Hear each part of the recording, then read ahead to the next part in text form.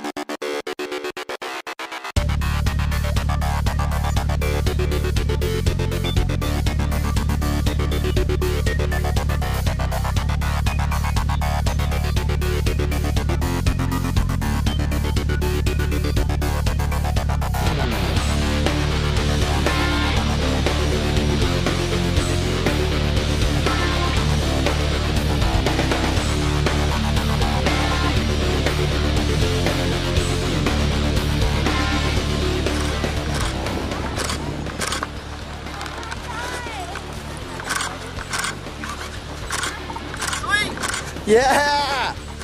Woo! Yeah, brother! Love it. I heard that he loved it. Oh, yeah. Hey, well, what'd you think, man? That was badass. Badass. Well, how my boy JC do? Did some spins and shit. Awesome. Hey, was there anything you want to tell anybody back home? I would recommend this to anybody. Her daddy recommends coming to Gold Coast Skydivers to everybody. And who's That's this right. coming in right here behind us? Hey, well, thank you so much for coming out to Gold. Coast. Slap my man high five. Appreciate it, man. Hey, welcome to the skies, my man. That's it. I'm ready.